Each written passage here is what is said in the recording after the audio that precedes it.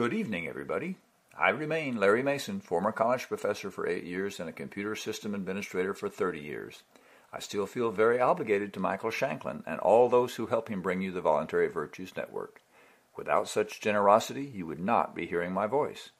I enjoy lecturing as much as any professor, but I will have more fun when we move to live shows, so my listeners can ask questions and correct my errors.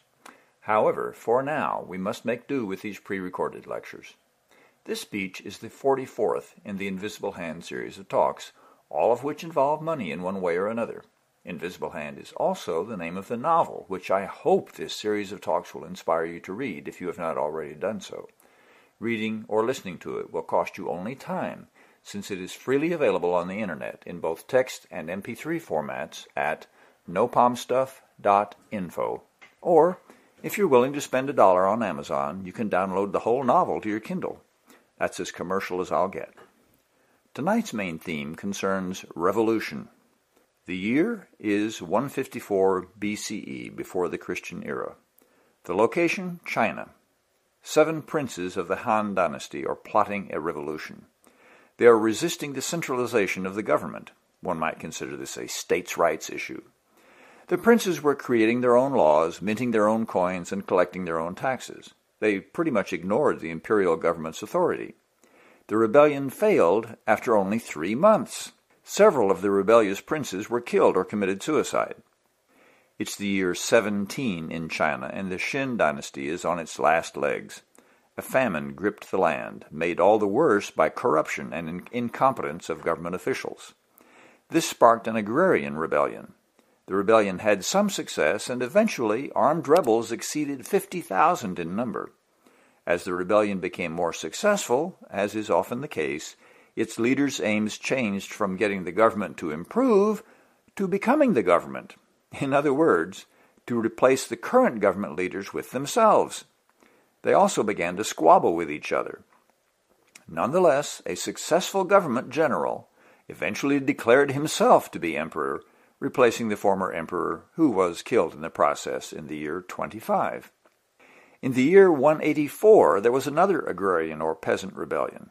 Again, a famine combined with governmental interference sparked the revolt. The famine forced migration, which generated a labor surplus that was exploited by the large landowners who amassed great fortunes. At the same time, taxes were increased to build fortifications along the Silk Road and the military. The rebels favored equal rights for all people and equal distribution of land. This rebellion was finally suppressed after 21 years. Many thousands of people died in the wars, and many people were impoverished and left homeless.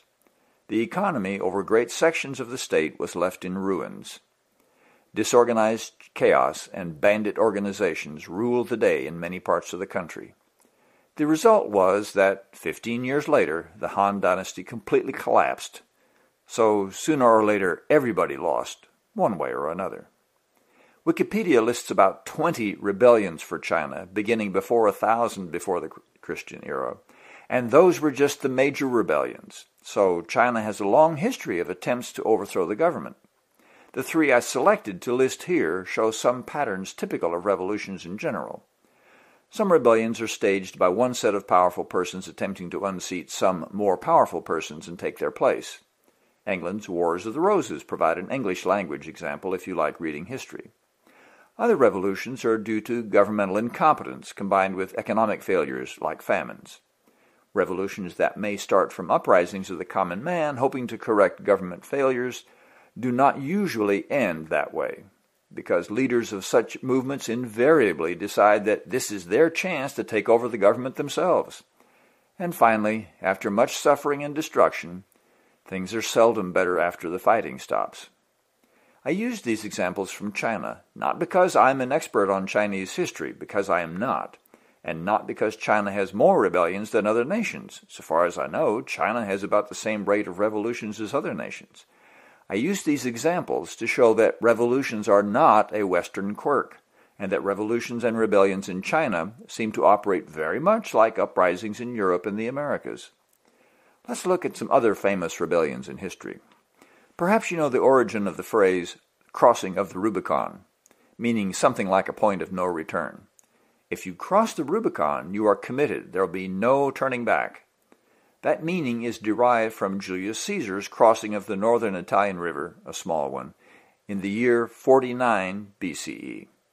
It seems that the Republic of Rome had as one of its laws that a general was not to ever cross the Rubicon River into Italy with a standing or active army. This law was intended to prevent civil war. So Caesar committed treason to the Roman state by bringing his army back from Gaul, what is now France, in that year. In effect, his action was the beginning of the civil war that would convert Rome from a republic into an empire. It was a revolution. You will note the similarity to the Han Dynasty rebellion in 184 BCE. In Gaul, Caesar ruled. He was supposed to be the subject to the Senate in Rome, but for all practical purposes, since he controlled the army in Gaul, it was his province to do with as he liked. He did get quite rich in Gaul. Once in Italy, Caesar won the ensuing war, but was assassinated shortly after taking power. Caesar instituted many of the laws which were foundational for the empire, but his assassination soon resulted in more civil wars. The main result of this particular Roman rebellion, there were several before Caesar, was that the Republic of Rome ceased to exist, and the Roman Empire was born under Octavian, later to be known as the Emperor Augustus. As you probably know, these wars killed thousands and spent huge amounts of money, and all they settled was who would rule the empire. So the rebellion really made little positive difference in the lives of the typical Romans. This is also like those rebellions in China. The successful rebellions result in squabbling over spoils of war, and few actually benefit from the sacrifices and suffering of thousands. Moving right along, we come to the Civil War in England, in which the king, Charles I, was executed by Cromwell's successful rebellion. Of course, this rebellion of the Parliament against the king was justified on many grounds, but it was really about money and power, as you would expect. This war began as a person, King Charles, fighting against an organization, the Parliament. The Parliament had several generals, but the rise of Cromwell to be the head of the army was the reason for the success of the rebellion. Cromwell succeeded without any particular military training, which just goes to show how poor the state of military theory was at the time. The basic conflict over which the Civil War was fought was regarding taxes, which only Parliament could levy. King Charles tried everything his ministers could think of to get funds for himself but he would have his wars, resulting mostly from his attempts to impose his religion on his subjects. So, of course, the king had to have money for the military. The propaganda of the day emphasized religion and loyalty to the sovereign.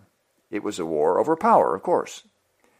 Estimates of the deaths from the three major and several minor wars of this period are in the neighborhood of 200,000 people out of a population of about 5 million among the English, about 60,000 in Scotland, and over 600,000 Irish deaths out of 1.5 million before the wars. You will note that the Irish were innocent bystanders in the struggle between king and parliament, yet they suffered hideously. The public had few gains, and parliament, though victorious in the war, got a king by another name in Cromwell, and then restored the monarchy in the person of Charles II. The wars made England and Scotland parliamentary monarchies in which the kings had powers but were much limited by the greater powers of Parliament. Were these changes worth the cost? Did anything meaningful really change for the better for the average Englishman, Scot, or Irish citizen? As you can tell from the deaths these wars produced over an 11 year period, there was considerable destruction of property as well as lives lost. Having considered the English Civil War, to be fair, we must also consider the French Revolution, our own American Revolution, which we will consider later, helped to spark the revolution in France by bringing the government of France's king to near bankruptcy. Bad harvests and high taxes, a standard spur to revolution, were important factors. It seems that the nobility were not taxed, nor was the Catholic Church taxed. Since the common man, called the Third Estate, was all that was left, and since they had no power, they were taxed to the fullest extent possible. So the French monarchy used a very regressive tax system with few or no taxes for the wealthy and heavy taxes for the poor. The financial emergency faced by the government forced them to call the Estates General, National Assembly. The Third Estate representatives to that assembly broke off and started passing what was at the time considered radical legislation. They were joined by most of the clergy and a few of the nobles. They abolished feudalism in France, eliminated the seigneurial rights of the nobles and the tithes gathered by law by the Catholic Church. They specified equality of punishment for crimes, freedom to worship, and everyone was able to hold public office. This destroyed the existing aristocratic society. The old judicial system was abolished. You might also want to consider the Declaration of the Rights of Man and of the Citizen. Much of its ideals will sound very familiar. The Assembly also created a constitution for France. They passed a civil constitution of the clergy, which made all clergy employees of the state. There were many strenuous efforts to destroy the church. The French Revolution is famous for the Reign of Terror and for Napoleon. Naturally, our view of the French Revolution is colored by our speaking and reading English and the English propaganda against the French, which included popular literature such as A Tale of Two Cities and The Scarlet Pimpernel, as well as Captain Horatio Hornblower. But despite the fact that we have had anti-French propaganda on the Revolution, all reasonable historians agree that there was a considerable price paid by both the general public and the nobility of France. Millions died in the many wars associated with the French Revolution. Perhaps more soldiers of other lands died than French soldiers, but the French were fighting in many nations. France was not invaded by foreign armies very much, especially in comparison with the invasions of other nations by French troops. But the French fought among themselves and oppressed their own people in a variety of ways. After all, there were revolts against the revolutionary government which killed hundreds of thousands of citizens. So the human cost of the French Revolution for Europe was high. The ideals of the French Revolution included liberty, equality, and fraternity, or brotherhood. Did the resultant governments live up to those ideals? Not at all. The Reign of Terror and the Emperor Napoleon give the lie to any such contention. The administrations of the government were hardly restrained in attempting to achieve their ends. Universal male suffrage, which started in 1793, soon was replaced by limited suffrage based on owning property. Freedom of the press was suppressed. Taxes were replaced by plunder from other nations. Women's rights were advocated for a time, but squashed in the end by the Napoleonic Code. During the early years of the revolution, the economy suffered due to financial problems exacerbated by inflation and price controls, so output fell. This revolution did have major and lasting consequences even beyond the metric system. The nobility was destroyed and the church lost its lands and tax-free status. Many offices in the state and church were made elective offices. As historian Francois Aulard wrote, quote, from the social point of view, the revolution consisted in the suppression of what was called the feudal system, in the emergence of the individual, in greater division of landed property, the abolition of the privileges of noble birth, the establishment of equality, the simplification of life. The French Revolution differed from other revolutions in being not merely national, for it aimed at benefiting all humanity. Unquote. But what did not change was the government no longer an instrument of oppression? Were taxes fairly levied and, collected? Did wealth no longer concentrate in the hands of a few? The previous wealth owners were struck down, and for a brief time wealth was much more evenly, evenly distributed. The result was small-scale entrepreneurs flourished. But that was temporary. As always happens with our physical object money, POM, wealth soon was concentrating in the hands of a few, just not the same few who had held it previously. Next, let's look at one of our favorite revolutions, the American Revolution of 1776. In this case, colonies revolted against the mother country. England has a long history of putting down the revolts of conquered territories, so England was practiced in putting down insurrections. England had the superior army and navy. England had far more people and far more wealth. England was the most industrialized nation on earth. Meanwhile, in the Thirteen Colonies, only about a third of the people even actively supported the revolt, while about a third opposed the revolt, and the last third didn't want to have anything to do with it either way. But most of the politically powerful supported the revolt, and most of the wealthy favored revolution. As is typically the case, revolution followed and was motivated by government blunders and bad policies. The revolution was all about money, of course. The phrase, no taxation without representation, should sound familiar. Tax on tea was behind the Boston Tea Party. The Stamp Act was another attempt to tax. So what we had was the Crown trying to get enough money in taxes from the colonists to pay for the war with France that had ended a few years earlier in 1763. Now, wars are expensive for governments, and no one wants to pay for them. Naturally, the voters in England were opposed to their tax money being used to pay for the support of the colonists, who were expected to labor, producing raw materials for the motherland, and to then spend their money buying finished goods from mother. The money was supposed to go from the colonies to England, not the other way around. So the voters of England would not support a parliament that didn't try to get every penny it could from the colonists. For some reason, the colonists resented this attitude. Some were so angry about it that they were willing to kill people and to risk their own deaths in order to not have to give up that tax money. If you read about the high ideals of freedom and liberty and so forth in your studies of American history, remember that those ideals were actually just a cover for ordinary human greed. The American Revolution was motivated by money, was paid for by money, and resulted in the shortly to follow French Revolution due to that nation's government going broke. If the revolution had been about freedom and liberty, there would have been no slaves after the war. If the conflict had been idealistic, the Continental Congress would have been able to levy taxes so they could provide supplies to the colonial troops. As it was, the colonists were unwilling to be taxed to support the revolution against being taxed by England. The course of the war revealed that both sides were quite willing to commit crimes against humanity, just not on the scale of the 20th century wars. Both sides lied, spied, and cheated in every way they could think of. All of the armies pillaged and looted whenever and wherever the opportunity arose. In short, people and war then were very much like people are today, and war is today. And, as in the other revolutions you will find in studying history, lots of innocent bystanders died for no purpose, while boatloads of money was wasted by all sides. What was gained by this successful revolt? That's hard to say. The citizens of the colonies no longer had to pay taxes to England, but they did have to pay taxes to the states and to the new national government. And about those ideals of the American Revolution which we have all been taught. No one gained his liberty as a result of that war, to my knowledge. Certainly all the slaves who did not escape were still slaves.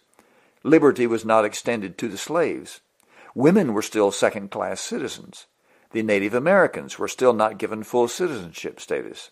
Limitations on who could vote meant that many were still being taxed without representation. The Bill of Rights eventually was added to the Constitution, and we can consider that, that an outcome of the war, even though it wasn't until several years after the war ended. But were those rights respected by the new government any more than they had been under English colonial rule? I think you would have been hard-pressed to find much difference. If you think that things are far different because of the revolution than they would have been, show me how Canada is far different in its freedoms, liberty, and rights to vote. They were our neighbors and fellow colonies, and they did not revolt.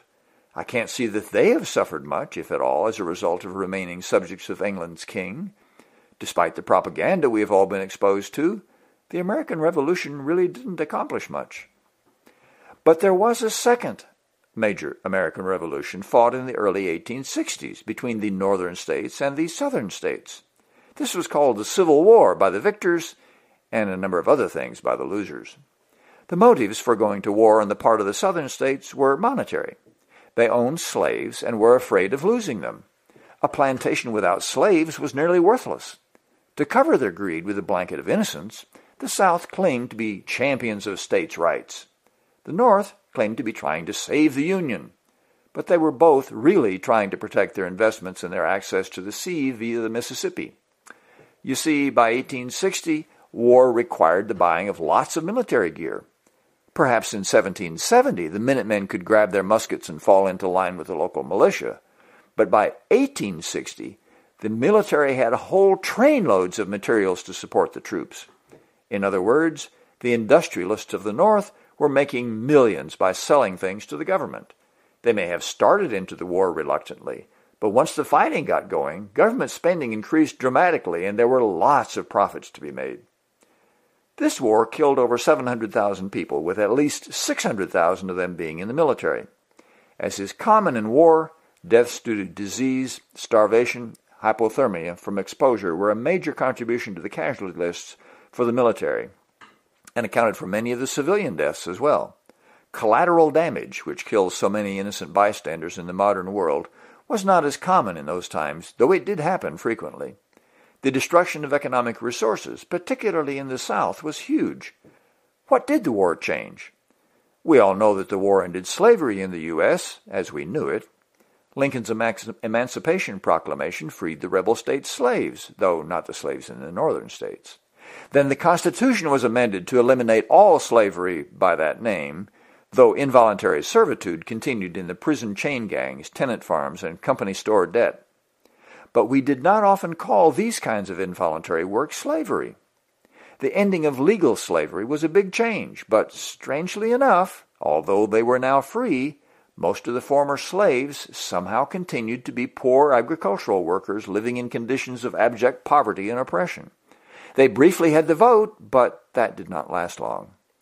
The lyrics of Old Man River still applied to most of those former slaves. They did achieve literacy, however.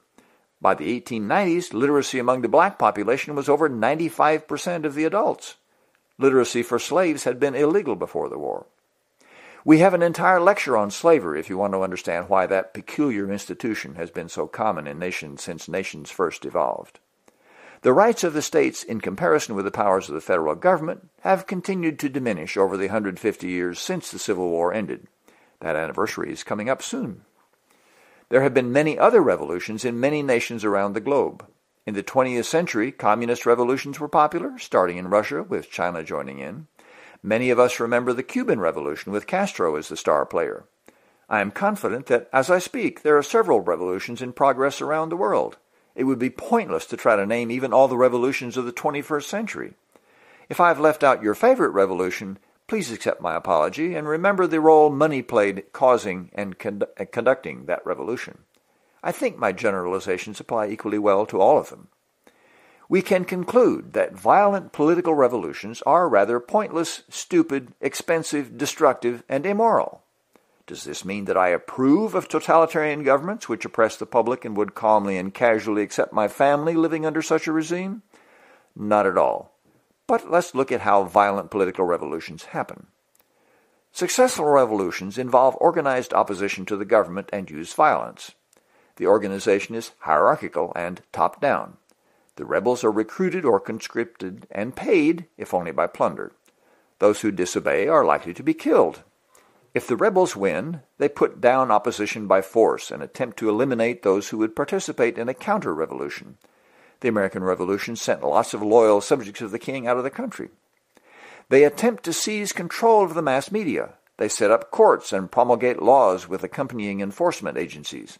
In other words, they set up the apparatus of government oppression all over again. The use of violence in the revolution creates frightened enemies. Violence begets violence. Violence creates the expectation of a violent reaction. If you punch someone in the face, do you expect them to fight back? If you punch someone, have you given them a motive to do you harm? Revolutionaries expect a violent reaction by the government they oppose. But what do revolutionaries have to offer except different people operating a government? Successful revolutions fear the revenge of those they have attacked and fear the very people they have freed from the oppression of that old government. Now there is a different kind of revolution which is not political and is not violent. Remember the Industrial Revolution? It began sometime around 1650 or so in England and has spread around the world. The Industrial Revolution has fundamentally changed the social fabric of the industrialized nations. This is why the radical fundamentalist Muslims so hate the Western world and its culture. Science, which has made that industrialization possible, has been developing at the same time. Science also has nonviolent revolutions. Of course, there has been some violence associated with industrialization, as in the clashes between labor unions and management and the colonization of resource-rich areas of the world. There has even been violence associated with the development of science, though that violence has mostly been violence against scientists and engineers. What can we learn from these so-called revolutions? The first thing is that they change the context, the circumstances in which people choose to act. Violent political revolutions rarely do that, but with industrialization, a person can change occupation and productivity per hour of labor and achieve an improved, healthier, and more comfortable lifestyle. With industrialization comes migration and the changes that migration brings to the family. With industrialization comes freedom, liberty, and rights, ideas which were not considered before. The very idea that people could be considered to be equals comes from industrialization. These changes come from evolution rather than revolution. Evolution brings about fundamental changes and offers the possibility of improvements and betterment. Revolutions bring suffering, death, and destruction. Revolutions substitute one set of rascals for another. Yes, there were rascals among the founding fathers. Today, we are far closer to equality of persons and rights than we were 200 years ago in the U.S. Far fewer categories of people are denied the vote than 200 years ago. Slavery is less common than 200 years ago. Lifespans are longer and living conditions are healthier in many ways. Going to a doctor is more likely to prolong your life than end it. These improvements evolved. They were not imposed by a revolution. We can easily see that our physical object money, our POM, brings about and makes possible all the horrors of political revolutions. We can see that the improvements to our lives over the last 400 years have been despite our use of a POM. So, if we want to end POM and enjoy a brighter future using a non-POM, how can we bring that about? I suggest to you that changing from a POM to a non-POM economy cannot be brought about by violent political revolution. Violence is not a path to a non-POM economy. Violence by advocates of non-POM will utterly fail. Non-POM must evolve and evolve peacefully. Picture, if you will, an army of non-POM advocates seizing power in nation X. There aren't any nations whose names start with X, are there? They must be organized and paid using POM. They must arm themselves, using POM to buy weapons. Why would their leaders give up all that POM they have seized? Wouldn't the revolution drive the economy down and put people on the verge of starvation and homelessness? Non-POM requires plenty of the basic necessities. Revolution tends to create shortages of the necessities. More importantly, how would such a movement gain such a large amount of POM? Could they do so ethically? It seems unlikely. If they ask for contributions, won't that pile of money prove to be a great temptation? Won't its use provide other unethical temptations? I don't really see how one can use a large amount of POM to bring about non-POM. Oh, I am paying for this computer and internet service, but I think you know what I mean. Educating people about the dangers and harms of POM is one thing. Instituting a non-POM economy is another thing entirely. Educating people about how a non-POM system would work is something that can be done without violence. Imposing a non-POM system by force simply will not work. Non-POM economies do not initiate force. No one can be forced to do any kind of work in a non-POM economy. So, starting a non-POM economy cannot be done by the use of force. All the POM techniques of employing force cease to exist when a non-POM economy begins. For example, let's imagine that army of non-POM advocates again. They have just declared victory and are riding tanks and armored personnel carriers through the capital. They declare that POM is no longer money and that non-POM is the new medium of exchange. But that requires a couple of years of preparation. How will the transition be handled? To keep the economy going in the meantime requires POM be continued. So are these new rulers going to give up their wealth and power? I don't think so. The only reasonable transition from POM to non-POM is a peaceful, purposeful, planned, and expected transition. People have to know what's going to happen and why. They have to accept a new context for their lives. Non-POM cannot be imposed by force.